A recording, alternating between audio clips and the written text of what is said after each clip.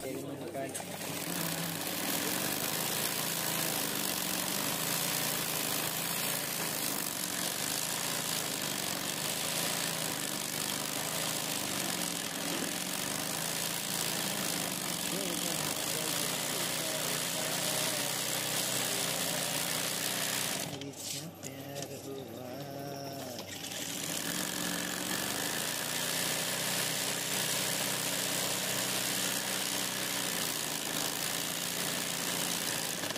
hơi hơi nó chịu nó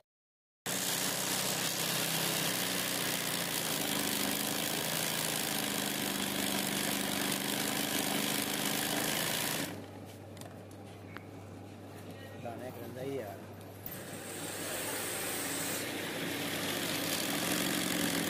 Hãy subscribe